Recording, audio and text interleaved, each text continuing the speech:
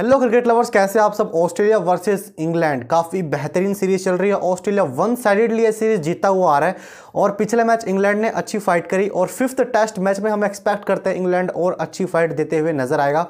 Australia versus England fifth test से जुड़ी सारी जानकारी आपको इस वीडियो में दी जाएगी कि पिच रिपोर्ट क्या रहने वाली है, किस खिलाड़ी की होगी एंट्री और क्या कहता है यहाँ का रिकॉर्ड। तो सबसे पहले मुकाबला हो कह रहा है? बेलरवी ओवल नाम का स्टेडियम है जो कि काफ़ी शानदार है और यहाँ पर यह मैच भी काफ़ी अच्छा होने के असर। तो यहाँ के रिकॉर्ड क्या कहते हैं? तो यहाँ के रिकॉर्ड कहते हैं तेरह मैचेज हुए हैं और उन तेरह मैचेज में से पहले बल्लेबाजी करने वाली आठ मुकाबले जीती और पहले गेंदबाजी करने वाली तीन मैचेज जीती। यानी कि जैसे आप आगे बढ़ोगे ना, बल्लेबाजी के लिए और ज़्यादा मुसीबत बनती जाएगी। तो यहाँ पर अगर आप टॉस जीते तो पहले बल्लेबाजी का फैसला लीजिए। इसका एक और आपको प्रूफ दिखाता हूँ मैं कि इस ग्राउंड की एवरेज क्या कहती है। यहाँ पर फ़र्स्ट इनिंग का एवरेज 361 है, सेकंड इनिंग का एवरेज स्कोर दो सौ तिरपन है, थर्ड इनिंग का एवरेज स्कोर दो सौ सत्तावन, फोर्थ इनिंग का एवरेज स्कोर दो सौ साठ। यानी कि आप ढाई के करीब ही रहेगी यहाँ पे स्कोर सेकेंड इनिंग में भी और फोर्थ इनिंग में भी।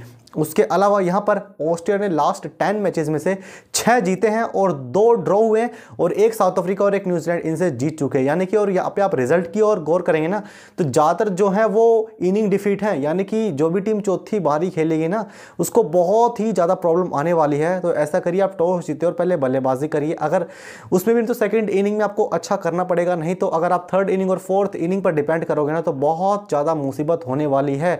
यहाँ पर इंग्लैंड की टीम को खास तौर पर, क्योंकि ऑस्ट्रेलिया टीम बहुत ही बेहतरीन कर रही है। अगर ऑस्ट्रेलियन टीम टॉस हारती भी है तो भी वो अच्छा कवरअप कर सकते हैं, ऐसा मुझे यकीन है। इसके अलावा अब बात करते हैं कि यहाँ पर क्या दोनों ही टीमों का कॉम्बिनेशन होने वाला है। अगर बात करें यहाँ पर ऑस्ट्रेलिया की तो ऑस्ट्रेलिया के जो ओपनर्स हैं, वो हो सकते हैं मार्कस हैरिस और उस्मान ख्वाजा। वार्नर क्यों नहीं? तो भाई यहाँ पर फिफ्थ टेस्ट यहाँ पे यंगस्टर्स को मौका देने की कोशिश करेंगे और एक टेस्ट मैच नहीं खेलेंगे वार्नर तो कुछ नहीं हो जाएगा पर यहाँ पर वार्नर की जगह आपको खेलते हुए नज़र आ सकते हैं कौन? उस्मान ख्वाजा। तीसरे नंबर पर आपको देखेंगे लाबुशेन, फिर आपको स्मिथ देखेंगे, फिर हेड को खेलेंगे क्योंकि हेड ने भी सेंचुरी लगाई है और सेंचुरी लगाने के बाद उनको कोविड हो गया था, उसके बाद ही भारत नहीं तो ख्वाजा को नहीं मिलती जगह। इसके अलावा ग्रीन खेलेंगे ग्रीन के बाद एल कैरी खेलेंगे, काफ़ी अच्छे हैं, परंतु बल्लेबाजी इतनी अच्छी नहीं कर पाई है। और कविंस स्टार्क बोलैंड बहुत ही ज़्यादा प्रभावित कर रहे हैं, और रूट को तो बहुत स्पेशली टारगेट कर रहे तो बोलैंड बहुत ही ज़बरदस्त खोज लगी है, और गजब के गेंदबाज हैं। इसके बाद आपको लायन दिखेंगे। अब बात करते हैं इंग्लैंड की टीम की। सबसे ज़्यादा इनकी टीम में बहुत ज़्यादा हलचल मची हुई है, बहुत ज़्यादा चेंजेस करने की कोशिश कर रहे हैं। देखते हैं इस मैच में क्या चेंज करेंगे। तो क्रॉली ने तो काफ़ी अच्छी खेल इनिंग खेली थी पिछले मैच में तो इसमें वो तो खेलेंगे खेलेंगे। हमीद बिल्कुल डिसअपॉइंट कर रहे हैं, उनको कम से कम आठ इनिंग मिल चुकी है, कुछ नहीं कर पाए वो।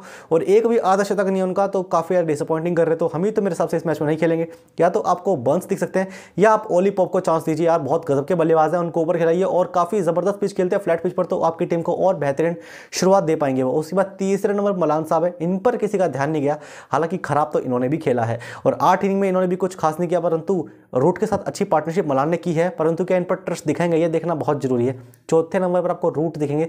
रूट के बाद आपको दिख सकते हैं बेस्टो बेस्टो बाद आपको स्टॉक्स दिख सकते हैं। एज अ स्पेशलिस्ट बैट्समैन इनको खिलाया जाएगा। देन आपके बटलर भी अच्छी फॉर्म में नहीं है। बटलर ने भी एक भी अर्धशतक नहीं लगाया या तो बटलर खेलते हुए नज़र आएँगे या फिर इनकी जगह सैम बिलिंग्स सैम बिलिंग्स को बिल्कुल कंफर्म कर दिया इंग्लैंड की। सैम बिलिंग्स पाँचवें टेस्ट मैच में खेलेंगे। परंतु किसकी जगह खेलेंगे?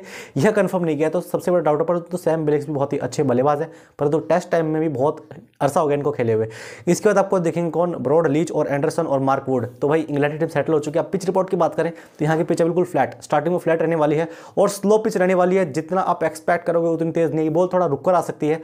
और यहाँ पर, जैसे फिर फिर पिच फटने लग जाएगी और यहाँ पर फिर स्पिनर्स को थोड़ा असेस होगा। स्टार्टिंग में मदद दी स्पिनर्स को, परंतु बाद में आपको मदद मिलने लगेगी। और यहाँ पर आप बात करते हैं वेदर रिपोर्ट क्या कह रहे हैं यहाँ का तो वेदर कह रहा है कि फ़र्स्ट डे थंडर का भी है और प्रिडिक्शन है फिफ्टी परसेंट से भी ऊपर है कि बारिश आने के आसार है पहले दिन में। बाकी कोई दिक्कत नहीं है। पार्टली क्लाउडी होते रहेंगे, परंतु चारों दिन बाद के जो है रेस्ट डे हैं, वो सब बिल्कुल सनी डे हैं और अच्छा मैच आपको देखने को मिल सकता है। परंतु जब बारिश होती है ना, बारिश के आसार होते हैं तो बॉलर्स को थोड़ा कंडीशन सपोर्ट करती है तो पहले जो बल्लेबाजी से लेगा ना तो उसको थोड़ा बहुत डाउट में आ सकता है। आई थिंक जो मैंने आपको आज की वीडियो में बताया अच्छा लगा होगा। अगर अच्छा लगे तो इसको लाइक शेयर सब्सक्राइब ज़रूर करेगा मिलते हैं नेक्स्ट वीडियो में क्रिकेट से जुड़ी अपडेट के साथ।